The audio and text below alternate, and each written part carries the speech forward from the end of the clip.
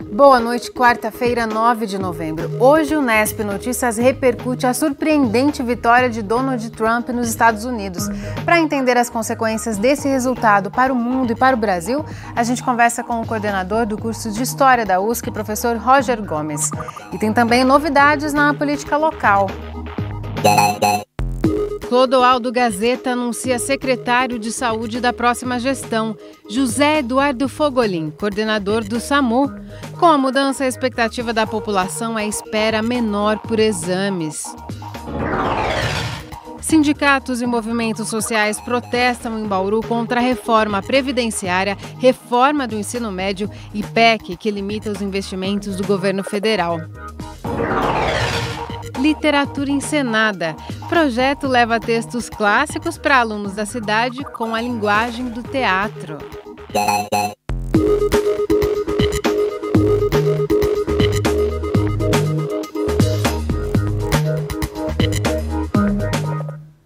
O prefeito eleito de Bauru, Clodoaldo Gazeta, anunciou hoje José Eduardo Fogolin como secretário de saúde da gestão dele. Fogolin é médico e coordena o SAMU aqui na cidade. O futuro prefeito disse que a saúde é prioridade, por isso antecipou o nome do secretário. Os bauruenses esperam mesmo melhorias no atendimento de saúde e com urgência. Dona Olívia mora no núcleo residencial Presidente Geisel e há 10 anos sofre de hipertensão. Para fazer o acompanhamento da doença, ela vai à unidade básica de saúde do bairro, mas nem sempre fica satisfeita com o atendimento. Gostaria que tivesse mais funcionários para que a gente tivesse um melhor atendimento. Até médicos não, não faltam tantos, mas funcionário tem muito pouco. Dona Olívia também reclama que o posto não distribui os remédios gratuitos para hipertensão e dá demora para agendamento de exames. Demora de quatro, seis meses até mais. A situação relatada pela dona Olívia reflete a realidade dos bauruenses que dependem do Sistema Único de Saúde. Segundo o Ministério Público, para a maioria dos pacientes, o tempo na fila para conseguir exames e consultas pode levar seis meses ou mais. O caso foi parar na Justiça, que determinou que as filas devem ser zeradas. Tantos problemas na saúde pública em Bauru fizeram com que a equipe de transição do governo municipal reunisse a imprensa hoje cedo para anunciar o novo secretário da pasta, José Eduardo Fogolin, e um pacote de medidas para o setor. Entre as principais estão a regionalização, uma forma de descentralizar o atendimento, fazendo com que o paciente passe por consulta e faça exames no próprio bairro. A informatização dos dados da saúde municipal para melhorar agendamentos e facilitar acesso a prontuários de pacientes e estabelecer parcerias com universidades locais para intercâmbio de tecnologias e formação profissional. O futuro secretário afirma que as propostas serão realmente colocadas em prática. Todo plano ele, ele vai ter o seu planejamento de execução ao longo dos quatro anos de gestão. Toda essa análise a gente está vendo junto com a própria equipe de transição. É, a implementação desse novo modelo, ele já traz, a partir do momento que você tem uma atenção básica, que possa ter uma resolutividade maior e uma urgência que também tem uma maior resolutividade, a gente tem um impacto na redução daquilo que a gente faz, que é apenas tratar a consequência. Então, é, hoje, esse impacto, a mudança deste modelo, já traz um impacto nos próximos anos para a população. Para ele, diminuir o tempo de espera nas filas e evitar que os pacientes passem por várias unidades de saúde para serem atendidos serão as prioridades.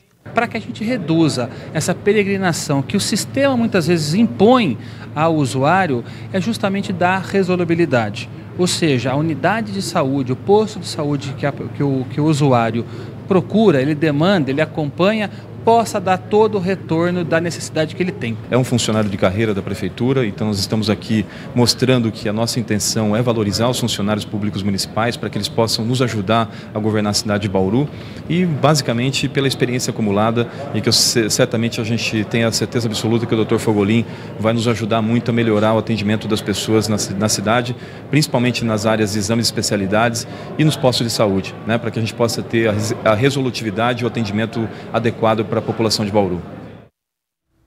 Hoje pela manhã, sindicatos e movimentos sociais fizeram um protesto em Bauru contra medidas propostas pelo governo federal, reformas da Previdência e do ensino médio e PEC, que limita os investimentos públicos. Cerca de 150 manifestantes de Bauru e cidades da região se concentraram na Praça da Paz. Eles são contra as medidas do governo federal que interferem nos direitos trabalhistas, como a reforma da Previdência, que pretende mudar a fórmula de cálculo das aposentadorias por tempo de contribuição do INSS. A reforma da Previdência, por exemplo, que vem nivelar numa uma idade somente aos 65 anos, acabando inclusive com a aposentadoria especial da nossa categoria, assim como de outras categorias também que têm em regime de aposentadoria especial. Então é um ato promovido pela PUESP, onde nós chamamos toda a comunidade, toda a sociedade, os movimentos sociais, os estudantes, né, os pais também, para dizer um basta, para mostrar, para dar a nossa resposta a todos esses projetos de lei que vêm prejudicar, retirando o direito do, dos trabalhadores. O ato foi organizado pela APOSP, a Associação dos Professores do Estado de São Paulo, e teve apoio de sindicatos e outros movimentos sociais. A diretora regional da APOSP explica que eles também lutam contra a reforma do ensino médio, outra medida do governo que prejudicaria diretamente os professores. Da maneira como ela está sendo apresentada, ela vem acabar com a profissão professor porque através do notório saber, basta um outro profissional, um outro formado numa outra área declarar que ele tem capacidade para ensinar e ele toma o espaço de um professor que se preparou é, especificamente numa área, né? Ele fez mestrado, fez doutorado e ele vai acabar perdendo o espaço de acordo com essa MP através do notório saber. A polícia militar acompanhou o protesto, que foi pacífico, e seguiu em passeata até a rodovia Marechal Rondon.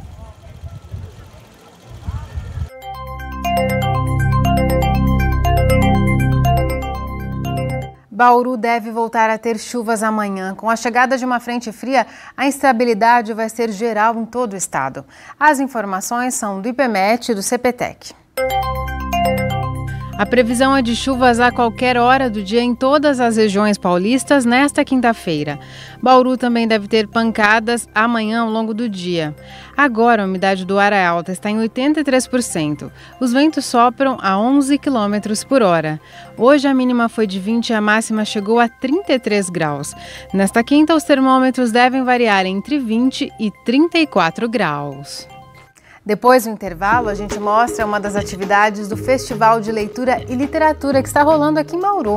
É um projeto que leva teatro para escolas com histórias de escritores consagrados. Voltamos num instante só. Voltamos com uma opção de lazer solidária. Será realizada neste fim de semana mais uma edição da Feira Amor, a Feira Espírita Beneficente. As informações com o repórter Murilo Barbosa. O evento é realizado pela União das Sociedades Espíritas de Bauru e tem por objetivo arrecadar fundos para as entidades beneficentes da cidade e também da região. Quem dá mais informações é Nelly Del Neri Prado, coordenadora da Feira Amor. Dona Nelly, quais são as atrações da Feira Amor para esse ano de 2016? Nós temos três praças: a praça de alimentação, a praça de artesanatos e brincadeiras infantis. E onde que vai ser realizada a feira? Quais os dias e os horários? No sábado próximo, das 10 da manhã às 22 horas, e no domingo, das 10 da manhã às 21 horas, lá no CIPES, que é o Consórcio Municipal de Promoção Social, fica na Rua Inconfidência, quadra 2. No caso, quais entidades vão ser beneficiadas, né? quantas aqui de Bauru, de outras cidades também, e como que esse tipo de evento ajuda essas entidades? Nós temos participantes de Bauru, Piratininga e Agudos. E essas instituições, num total de 42, são atividades que eles desenvolvem durante a feira e a arrecadação é em prol deles mesmos participantes. Dona Nelly, muito obrigado pelas informações. Então, lembrando a Feira Amor, nesse sábado e domingo no CIPES, que fica na quadra 2 da Rua Inconfidência, próxima Avenida Nuno de Assis. No sábado, das 10 da manhã às 10 da noite e no domingo, das 10 da manhã às 9 da noite. Murilo Barbosa para o Nesp Notícias literatura e teatro de um jeito diferente. O projeto Leitura Encenada leva a interpretação de textos clássicos para escolas da cidade. No Núcleo Meridota, os alunos do terceiro ano do ensino médio assistiram a uma apresentação. Estavam pensativas. A Escola Estadual Professora Ada Cariane Avalone foi palco do projeto, que resgata obras consagradas da literatura por meio da linguagem do teatro. O destaque aqui foi Machado de Assis. A leitura encenada permite aos estudantes um contato mais aprofundado com a obra, uma forma de estudar os clássicos da literatura cobrados no vestibular. Eduarda se prepara para ser aprovada em artes visuais. Ela lê em média cinco livros por ano e já conhecia Machado de Assis, mas depois da apresentação deve melhorar a leitura. Eu já tinha lido alguns textos dele na sala mesmo de aula, mas eu nunca tinha lido, lido certo, tipo, prestado atenção, tipo, na reflexão do final também, sempre tem uma reflexão, achei bem interessante. O Aylan vai prestar vestibular para o curso de moda. Ele estuda assuntos específicos e se mantém atualizado pelos jornais, mas não devora muitos livros. Para ele, o projeto veio em boa hora. Achei que foi bem interessante, vai ajudar a gente bem bastante para o Enem também, que cai bastante texto do Machado de Assis. Incentivar a gente mais na leitura, a gente procurar mais livros, não revista, não livro eletrônico e tudo mais. A pesquisa Retratos da Leitura no Brasil aponta que 78% dos alunos do ensino médio leem regularmente. Esse percentual fica abaixo dos estudantes do ensino fundamental 1, do ensino fundamental 2 e também do ensino superior.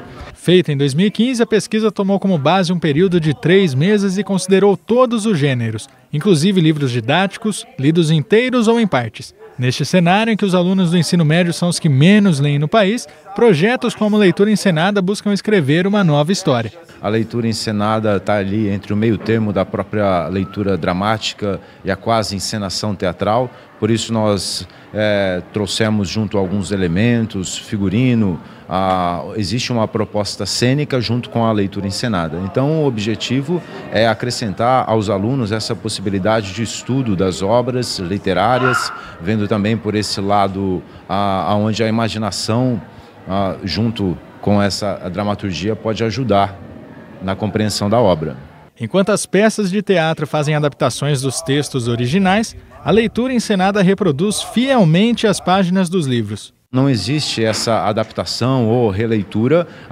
nós vamos até o ponto onde o próprio texto nos dá o alimento ali para a interpretação.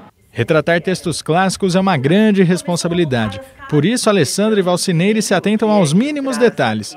O cuidado maior está na escolha do que vai para o palco. Nós focamos na obra de Machado de Assis, nós também temos uh, leitura da obra de João Guimarães Rosa, mas uh, a gente busca um foco também para ir uh, estudando um autor né, e, a sua, e a extensão da sua obra. Então a gente também tem essa função de, de trazer um, um conto, uma narrativa fora do circuito que está nos livros pedagógicos. Para a professora de língua portuguesa, a prática da leitura traz vários benefícios, tanto dentro quanto fora da sala de aula. A interação nas redes sociais fica mais, fica mais legal, porque eles começam a ter umas citações mais importantes. E também nas provas, eles têm aquilo com uma familiaridade, familiaridade grande. Né? Então, acaba que faz tudo parte. Fica natural. Na verdade, a literatura se torna uma coisa natural, não uma coisa forçada, imposta. É uma coisa que cresceu junto com eles. Vitória gostou muito da apresentação. Os textos chamaram tanto a atenção da estudante que ela fez questão de ir à biblioteca para emprestar as obras do escritor. Peguei um monte de livros sobre ele, aí vamos ver. De uma forma geral, por que você acha que a leitura é importante? Para o pensamento, para você sempre ter um conhecimento a mais. Ela ajuda na sua dicção, no conhecimento até de palavras para você se portar em todos os meios sociais.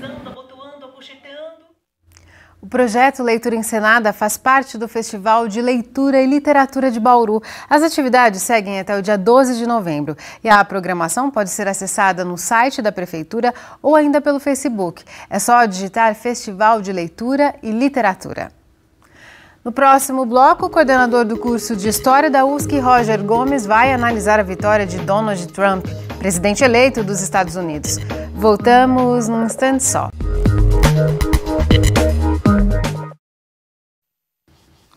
A gente fala agora do assunto do dia, Donald Trump, presidente dos Estados Unidos. Embora as pesquisas de intenção de voto indicavam a democrata Hillary Clinton na liderança, o republicano venceu com uma margem confortável até, levando a maioria dos delegados do colégio eleitoral. E para tentar entender o porquê e o significado dessa vitória, a gente recebe o coordenador do curso de História da Universidade do Sagrado Coração, o professor Roger Gomes. Roger, muito obrigada por sua presença aqui no Nesp Notícias. Eu agradeço. A gente falou há pouco tempo, né, numa perspectiva do que poderiam ser essas eleições. Essa vitória que deixou o mundo atônito, te surpreendeu de alguma forma? Não, eu, me surpreendeu. Eu penso que, que em outros momentos, como eu disse da outra vez que eu estive aqui, que já aconteceu isto, né? A, a, não muito distante, a própria eleição do Bush, do Bush filho, aconteceu dele levar pelo com, graças ao voto dos delegados. Então, mas tem muitas outras coisas que acabaram interferindo na vitória do Trump hum, de ontem para hoje, né? Essa essa coisa que está impactando o mundo é, é o medo. Qual é o, a questão que que bate muito né, em relação a ele, que é um sujeito imprevisível. Então, essa característica dele é que deixa o mundo apreensivo, principalmente os mercados. Veja, as bolsas agora elas, elas oscilaram bastante, não, em queda, entendeu? Até, mas eu acredito que uma coisa é ele na eleição, no calor da eleição, dos ataques que ele sofreu, dos ataques que ele fez, e aí os excessos né, da, do perfil que a gente chama de conservador dele, vai, vão acabar o quê? Se ajustando ali na hora do exercício do poder. Eu tenho a impressão que o tom deve baixar em algumas questões tão polêmicas que ele jogou durante as eleições, até por conta do, da pressão do próprio mercado. Seria uma versão mais polida de Donald Eu Trump? Eu acho que sim, a não ser que ele seja muito assim é, excêntrico e faça algo, né, mas eu não acredito, porque tem um partido por trás também e tem né, as forças econômicas por trás dele, da qual ele faz parte, inclusive. E as pesquisas, a gente disse, indicavam a, o favoritismo da Hillary. E por que, que o resultado foi contrário do que a maioria esperava? Esse eleitor do Trump que, que foi em massa votar e não se esperava que tantos fossem votar, porque o voto é facultativo né, nos Estados Unidos? Sim. Ou essas pesquisas têm metodologias um pouco equivocadas? É, essa, é, essa questão é a que está mais é, pegando agora nesse momento que, porque isso surpreendeu, né? Agora, o que levou seria o eleitorado dos republicanos que foram em massa votar. Então, se, se você puxar pela, pela mídia, pela internet, está se falando isto. É, em outros, a questão dos meios de comunicação social de massa dos Estados Unidos, que fizeram, na verdade, uma campanha muito pró-Hillary, não é? Então, mas isso aqui nós estamos discutindo agora e, e, e, e, é uma questão que vai se consolidar. Acho que dessa semana para outra vai ficar mais claro o que é que objetivamente fez essa, essa virada do Trump, na, na do Trump na, na, nas eleições agora. Eu acredito sim que os republicanos estavam mais determinados e essa, os estados do interior foram é, votar mais convictamente do que os democratas. As pesquisas indicam, as primeiras análises, perdão, que existe um perfil mais ou menos definido desse eleitor que acabou definindo o voto. Seria o trabalhador, sem formação universitária, o homem branco. Seria aquele, aquele norte-americano ainda descontente, com, pegando o rescaldo daquela é. crise de 2008? Por que, que esse, esse perfil votou no Trump? Eu, eu esse perfil. É, eu não sei se é só o homem branco, anglo-saxônico, etc. Pode ser ampliado, forma. Eu imagina. acho que pode ser ampliado, sim. Não é possível que ele, que só esses tenham votado. Mas o que, para mim, o Trump fez é que a fala dele atingiu diretamente esses diversos setores, de falar de, de trabalho, de falar que vai resolver certas coisas que são mais é, fáceis de serem ouvidas e absorvidas, diferentes das discussões que a Hillary fazia, não é? durante a sua campanha, a questão própria de gênero, que ela vai. Então, são questões importantíssimas. Mas ele falava diretamente daquilo que talvez o trabalhador quisesse ouvir naquele momento. Emprego, é emprego, renda, renda né, a questão da saúde apesar dela também tocar nisso, mas a forma incisiva dele, com certeza, atingia de forma mais direta essas camadas sociais dos Estados Unidos.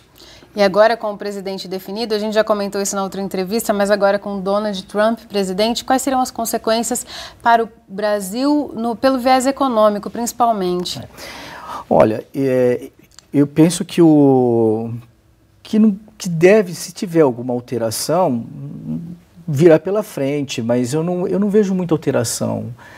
No Rio de Janeiro mesmo, o Trump tem investimentos em hotéis que, são, que estão desde 2012 para serem construídos. Então, assim, durante a campanha dele, o Brasil não foi prioridade, mas também ficou quase que à margem, né? Mas o Brasil tem uma economia considerável na América Latina.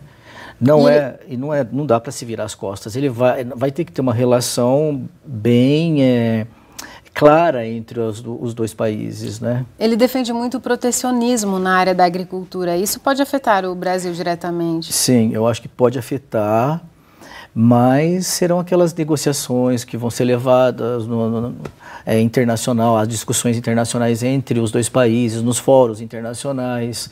É, mas sem dúvida, eu penso que ele vai ter medidas extremamente conservadoras, sim, dentro dos Estados Unidos, em relação aos imigrantes, em relação à economia. Então, de repente, se tiver que defender a laranja da Flórida, ele vai fazer com certeza isso. Que não é muito uma política dos próprios republicanos, que eles têm uma política mais liberal, né, de deixa o mercado se ajustar.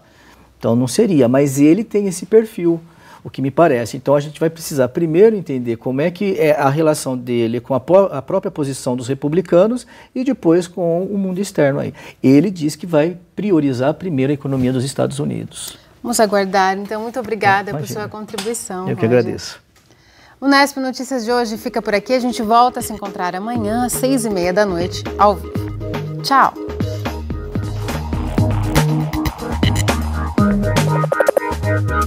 Thank